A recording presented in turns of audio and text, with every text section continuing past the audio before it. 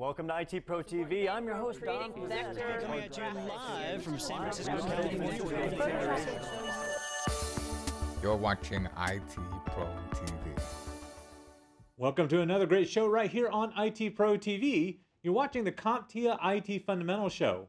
I'm your host, Ronnie Wong, and today we're diving into a part two on basic security principles.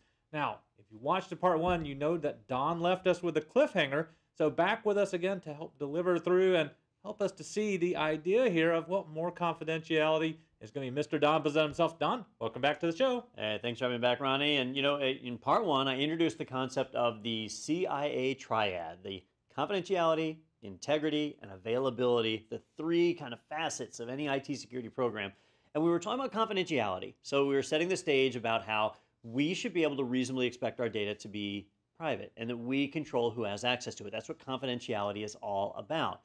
Well, one of the things that I wanted to touch on and ran out of time on was the expectation of privacy. Like, is that a realistic expectation and what does it actually look like? So, we're going to talk about that in this episode and then we're going to move on to the other two elements that we didn't get to. We didn't talk about integrity or availability. So, we'll get a chance to see all those right here in this episode. All right, so Don, here it is. You talked about the idea at the end of episode, uh, the, the first episode, about to say episode one. At the end of the first episode here, we said we have to temper our expectations of this. So, what do you mean by that? All right, so the internet, uh, shockingly, is not yours. Uh, it doesn't belong to your company, it doesn't belong to your country. Uh, the internet is actually a network made up of numerous entities. They're called autonomous systems that are all kind of glued together and creating this friendly uh, almost communistic type network. Well, the thing about that is, as you browse the internet, as you use these services, there are many people involved in helping you get to that service. And most of the time, you don't even know who they are. They're companies that you're not even aware of or you've never heard of their names. And you're reaching out and using services provided by companies that you have heard of, but that you don't know employees of, that you have to have this like implied trust. Take Facebook, for example right? Many, many people use Facebook, and many people put their personal information in there. The information about their family, their birthday, their pets, photos when they're when they're on vacation so when their home is empty. It's all posted right there on facebook. Really really personal data all right? Well i know for me this is true. I'll bet for most of you out there it's probably true. I can only name one employee at facebook right? And that's mark zuckerberg because Right. he's always in the news I can't name a single employee that actually works in a Facebook server room. Right? I, I, I don't know any. So if I start putting all of my personal information in there, which for the record I don't, um, but if I did, right, I would be trusting all of those data center employees to handle my data securely and properly and not to be poking through it in the middle of the night or leaking it out on the internet or, or not properly securing it so that attackers could get at it. I would be putting my trust in those people.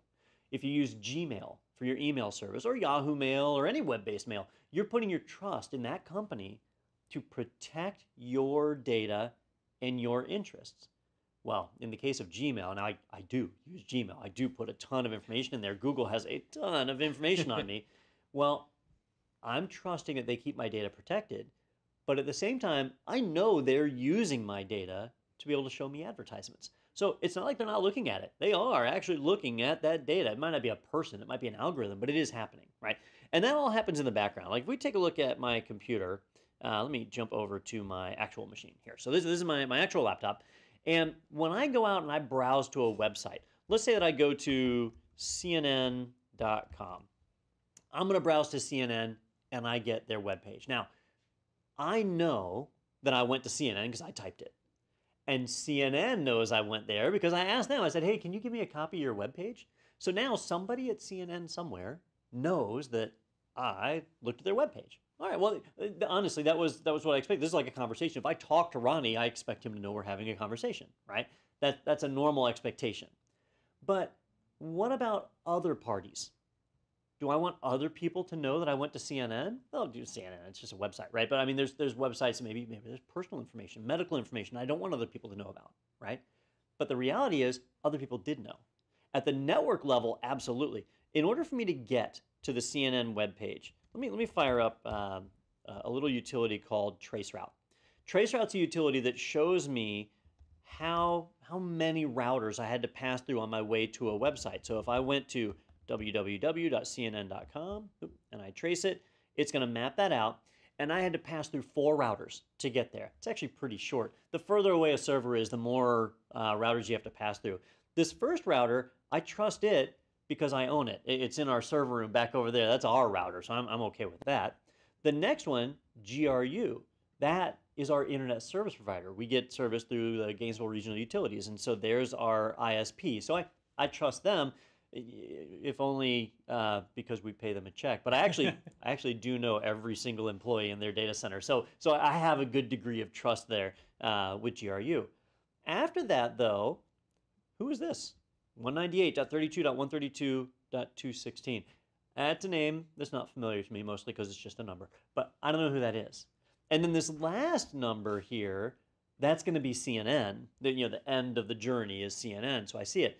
But here's this one entry point in the middle that I don't know. I don't I don't know what company that is. I, I don't know who works there. I don't even know what city that's in. But my connection passed through there. That's a risk. Right? Now usually these are trustworthy networks, usually, but I don't know that network. The further away we get, right? In another episode, we had done a, a server in Russia. So I did Pravda.ru. Um, and I'm, I'm not singling out Russia, it's just they're kind of on the opposite side of the globe. So I know that when I reach out to them, I've got to cross the Atlantic Ocean. I've either got to hit a satellite or a transatlantic cable, maybe a Pacific cable, probably transatlantic for us. Uh, and I can see it's eight hops away.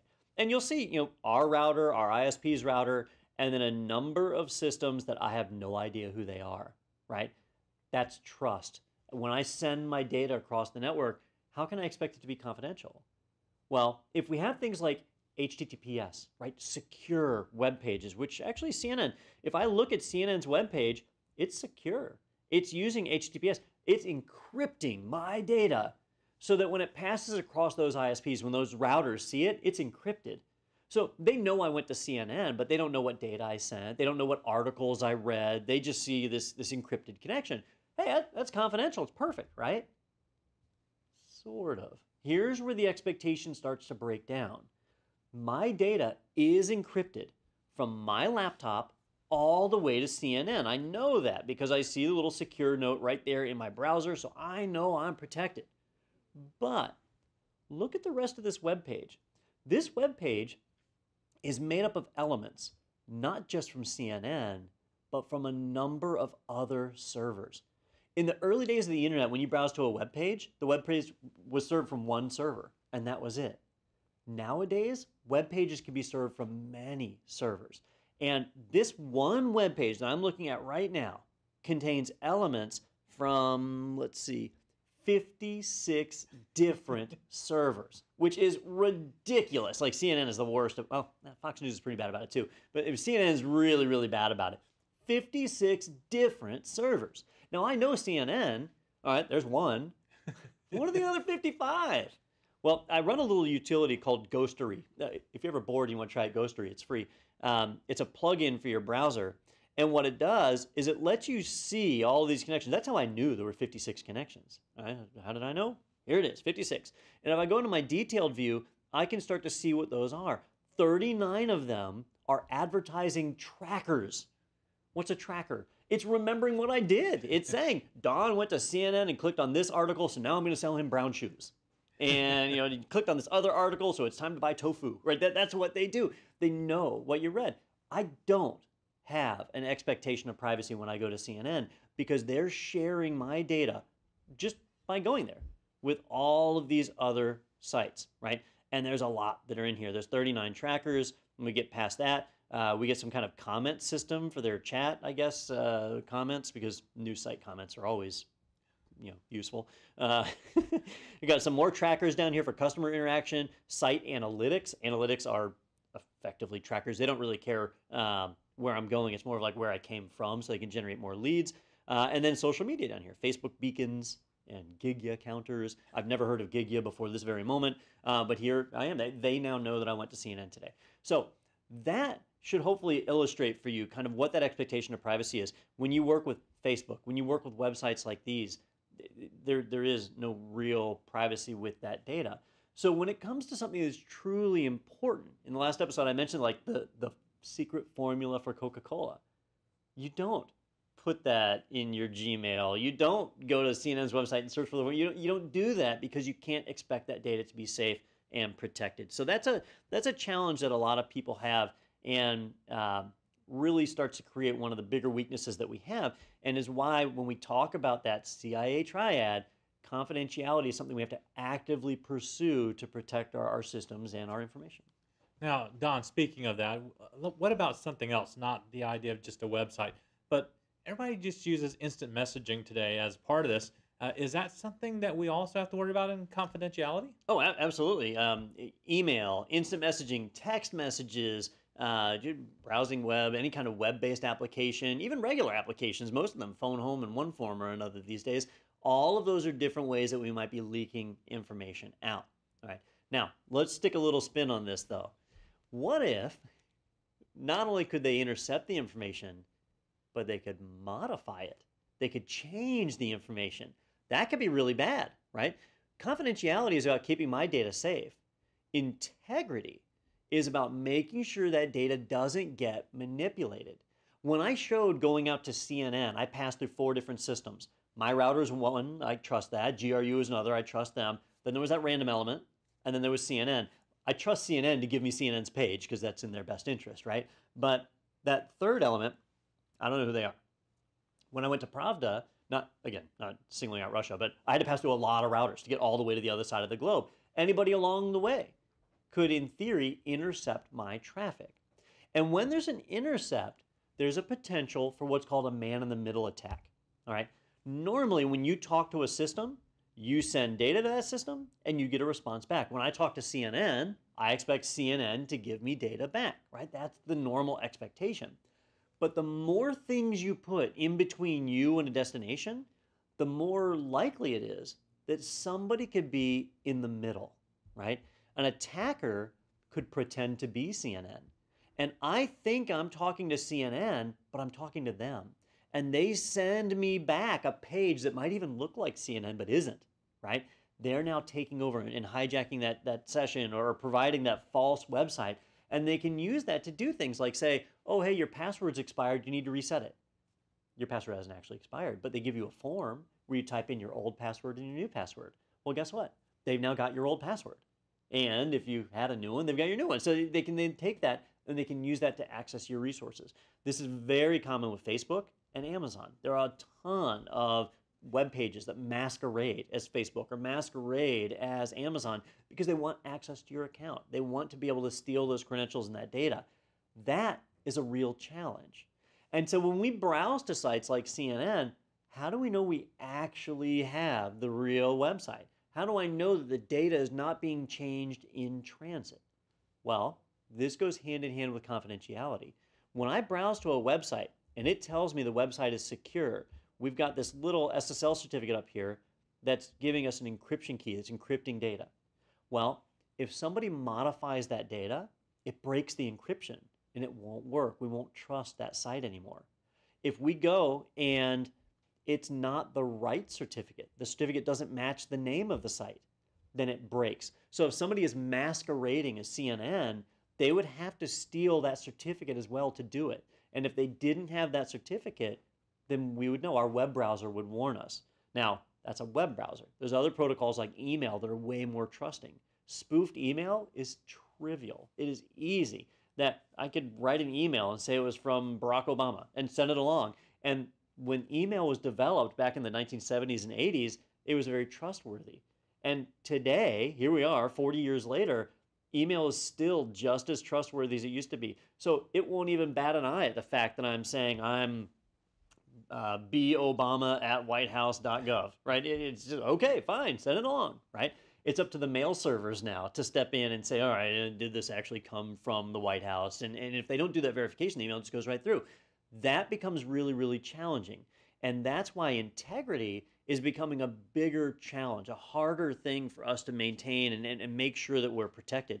Uh, attackers can intercept your communications, manipulate them, and send them along. They can intercept your communications and replay them later. So maybe I capture Ronnie logging into Facebook. I record that traffic. And then later I go to Facebook and I replay his traffic to log in.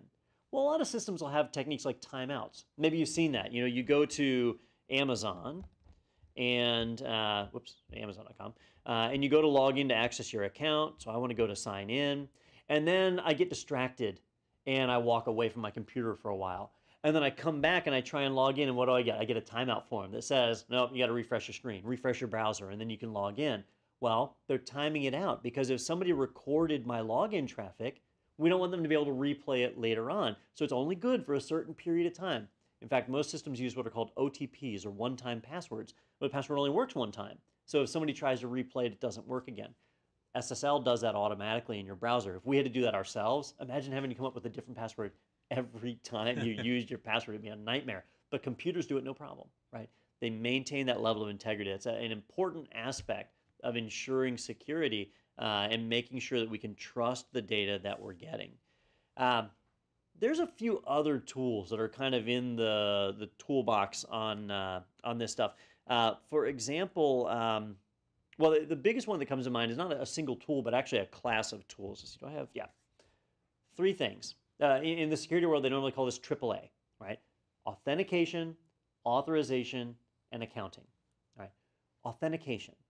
That says that whenever we access a resource, it needs to verify that we are who we say we are. When I went to CNN's webpage, or if I go to Pravda's webpage, or if I go to anybody's webpage, it, they're going to have an SSL certificate these days. And that certificate is based off of a private key that only that site would know. And so when I see the, the public key that's generated from it, I can use that to verify and say, yeah, this is actually CNN. Or, nope, this is somebody impersonating CNN right? If you want to see that, like what it's like when somebody's impersonating, there's a cool website called badssl.com. Badssl.com. And you can go to that website and they've got examples here of what it would look like if, for example, the host name didn't match, or if it was a fake certificate or a certificate issued by a non trusted root. An attacker would be a non trusted root. So if they've issued a fake certificate for CNN and you were to browse to it, this is what Google Chrome would do it would come in and it would display this message Warning, your connection is not private. It's using SSL, right? See how it's got the HTTPS with a slash through it? It's using SSL, but it's not a trustworthy certificate, so we can't trust the data that's being sent across. This is the error that we get, right? Uh, and, and there's a number of different scenarios that break that down, like wrong host name, and you get a similar error. Uh, each error is just a little bit different versus when you go to a valid site and you see the nice little green box up there everything's happy it's working the way that it's supposed to uh, you know when you have a proper key exchange or whatever oops not that one uh, that you'll see a healthy page that comes up uh, like here this is a healthy page comes up we get the green instead of the red warnings uh, so i know that it's working properly and our data is safe so that, that's kind of one way of doing authentication I'm, I'm, I'm verifying that site is who they say they are. For users, authentication normally takes the form of username and a password. I type in a password and the system says, oh yeah, you're done, you know the password. Obviously no one else would know the password, that would be crazy.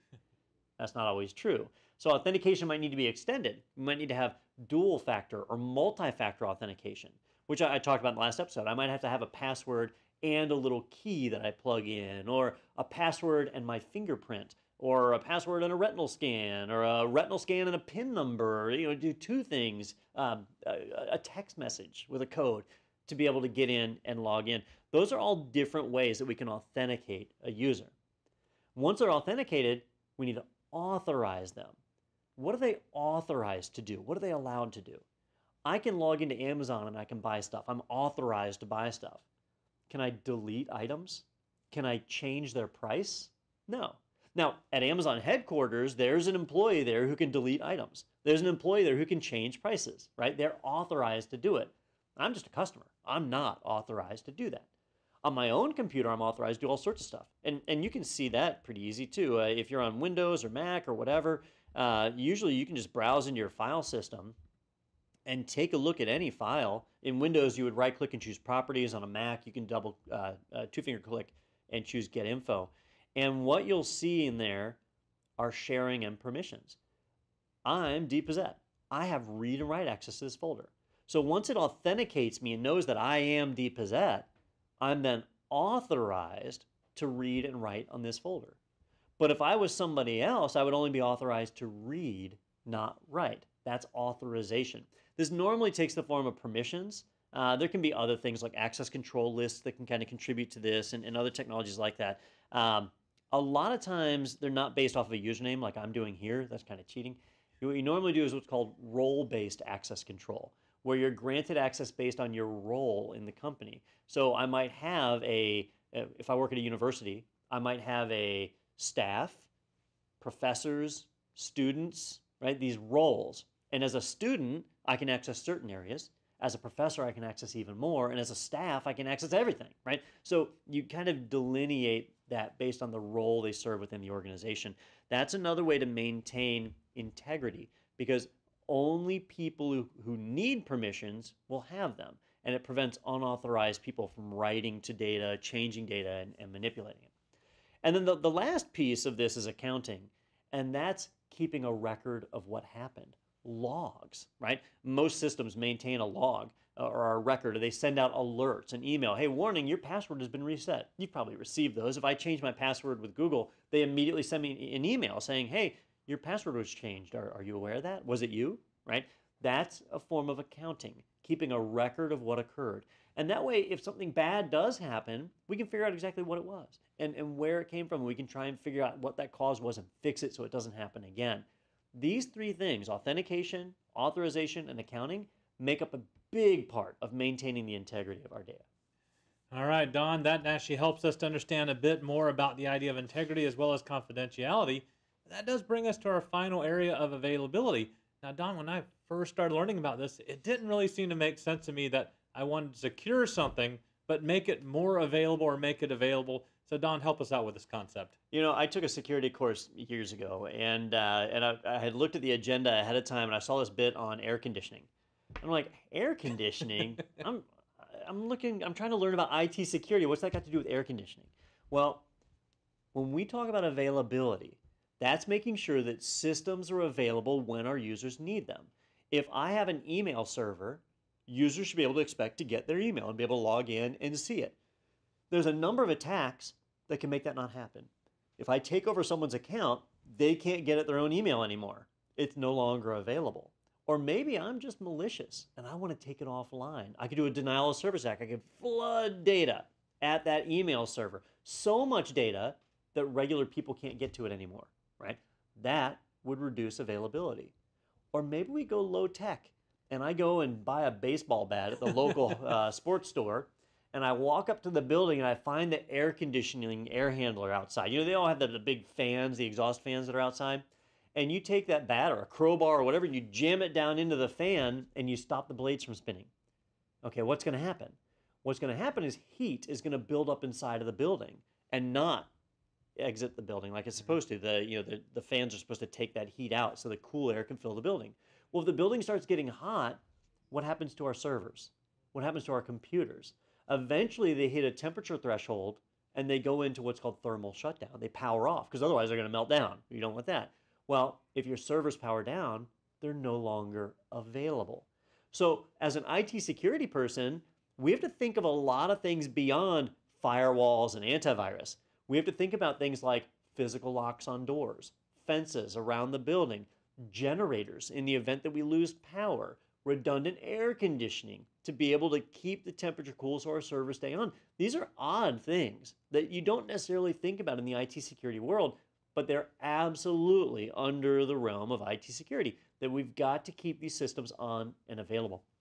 Many systems have stuff built into them to help provide this. So for example, I've got a picture here. This is an HP ProCurve switch. Uh, it's actually the back side of the switch. On the front side, you see a bunch of ports with cables, not very exciting. Uh, but on the back side, what we're looking at here are four power supplies. This switch has four power supplies. Why? Well, if one fails, it still has three more. If two fails, hey, this one can actually run on two power supplies. It doesn't need all four. Um, I, I, think this one can actually run on one power supply. You remember Ronnie on the on this program? I think it can. Yeah. Right. So so this switch would be fine if, if even three of the power supplies failed. Well, two of the power supplies are run to one UPS, a battery backup. The other two are run to another UPS.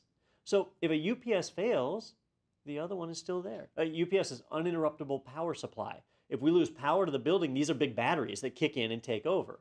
Well, we don't need the batteries very long. We just need the batteries for a few minutes because if we lose power, generators can power up. And the generators can provide electricity. But in the, in the little window of time between power going out and generators restoring power, we need something to keep things going. And that's what the battery backups do. And that's part of IT security. We want to maintain availability even if we lose power, right? And that's a, that's a hard thing to plan for because we need power for pretty much everything in IT. Uh, but you, you plan for it with your critical systems. When companies plan for security, they do what's called a business impact analysis. And they say, if system A failed, how would that impact the business? If system B failed, system C failed. And by doing that, they identify which are the critical systems, which ones are really required to keep the company running. And then you take steps to ensure that those are always available, that they're properly cooled, that maintenance is performed on them, that, that you don't let those servers get 10 years old because they're going to be more likely to have hardware fail, that the critical ones need to be updated much more frequently, and that they have redundant hardware and other things available to ensure their, uh, uh, their availability. Now, this is just power supplies right? Companies can have redundant buildings, entirely separate locations. Uh, in fact, one thing I like to do are, are, backups, right? Backups where we store a copy of our data somewhere else. And that used to be hard. We used to, uh, you know, have to like back up to tape and, and send it off with somebody. Now, there's all sorts of cloud services that are out there. Uh, for example, organizations like CrashPlan, where you can run a little client on your servers and it backs up all of your data to cloud storage. It's encrypted, it's secured. And now if your entire building was destroyed, well, that would really stink, right? But but at least your data would still be sitting out there, and you could go and get it and retrieve it. Um, Microsoft, they have what's called Azure Site Recovery, where they can back up all of your servers, and if your facilities are destroyed, you can bring up virtual machines in the Azure cloud. You flip a switch, and all of a sudden your systems are all back online up in the cloud, uh, in, in, in, just a, a, matter of moments. Like that's amazing technology that provides you a level of redundancy that we didn't have in the past. In the past, if I wanted redundant buildings, that meant I had to buy two buildings. Well, buying one building is bad enough. A second one, that's a ton of money. So only the largest enterprises were able to take advantage of that. In today's world, even home users can take advantage of this stuff. Services like Cra- CrashPlan, I don't want to sound like an advertisement. Um, I actually don't know how much they cost. I think it's like less than $50 a year. So nice. really, really small versus if you had to buy hard drives and set up a network and so on. So this world is constantly changing. There's new technologies that are coming out, but it all ties back to confidentiality, availability, and integrity. Those guys right there, that is the key tenant of IT security. All the different things I talked about redundant power supplies, door locks, biometrics like fingerprint scanners, uh, the little key for authentication, um, SSL, all of those are contributing to these three areas confidentiality, availability, and integrity. So if you choose to move on to become an IT security professional, these are three words you're going to hear a lot. And everything you do should be improving at least one of these in some way. All right, Don. Well, thank you for helping us to understand the basic security principles here of confidentiality, integrity, as well as availability. These are those security principles that will follow you throughout your entire IT security career. And well, it's actually a great thing to have the fundamentals down because it keeps you in keeps in mind, right? The very fact that all that you do, regardless of what type of technique that you use, that it has to help us to secure and to make these things better. All right, Don, any other final uh, words of wisdom for somebody that says, "Hey, I think this is a great area"? Sure. Uh, you know, if you if you watched Mr. Robot and then you thought, man, these episodes on IT Pro TV stink. They didn't do any hacking, right? Well, that's certainly true. We're focused more on the, the level of security. If you want to get into IT security and doing things like penetration testing is, is more interesting to you, those are in the more advanced certification courses. Uh, obviously, with, with CompTIA, IT Fundamentals is that starting point, right? Uh, security Plus, it covers all of the security concepts from a, a much more um, uh, in-depth standpoint. A lot of the things that we talk about in these last two episodes.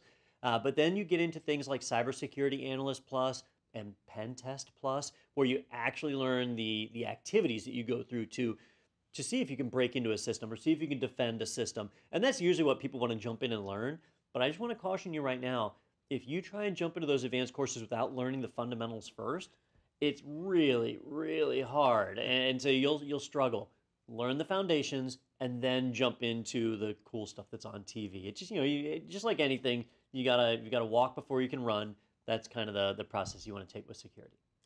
All right, so you heard it right here, and that means this is a great place for us to sign off. For IT Pro TV, I'm your host, Ronnie Wong. And I'm Don Pezet. Stay tuned right here for more of your CompTIA IT Fundamental Show.